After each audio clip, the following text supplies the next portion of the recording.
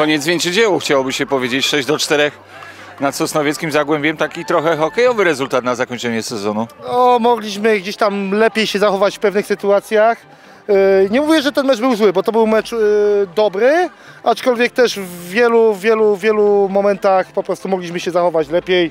Yy, Dzisiaj priorytetem było to, żeby przede wszystkim każdy zawodnik zagrał, dostał tą odpowiednią ilość minut, no i zadanie uważam za wykonane. Wiadomo, że to jeszcze trzeba zgrać, Yy, ten rocznik ma przed sobą bardzo dużo pracy i na pewno to będzie Ale zanim o przyszłości, to wróćmy do historii ostatnich tygodni, miesięcy, bo na ten sukces pracowaliście no, długi czas, razem jak długo? Trzy lata.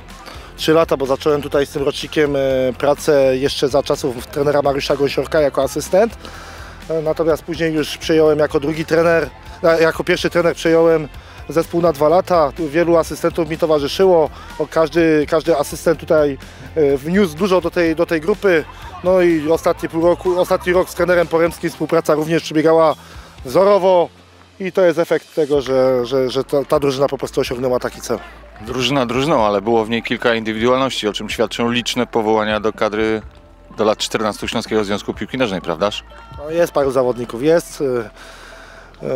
Jakbym miał wyróżnić, to tutaj na pewno Łukasz Góral kapitalny sezon rozegrał. Zawsze był z nami, to jest najważniejsze. Również y, Mateusz Zioło, y, Konrad Duźniak, Iwan Weliczko, który dostał kontuzji w pierwszej kolejce. Wydawało się, że nie wróci do końca sezonu, ale y, wrócił już na początku maja i to też było bardzo, bardzo kluczowe dla nas. Największy atut piłkarski tego zespołu.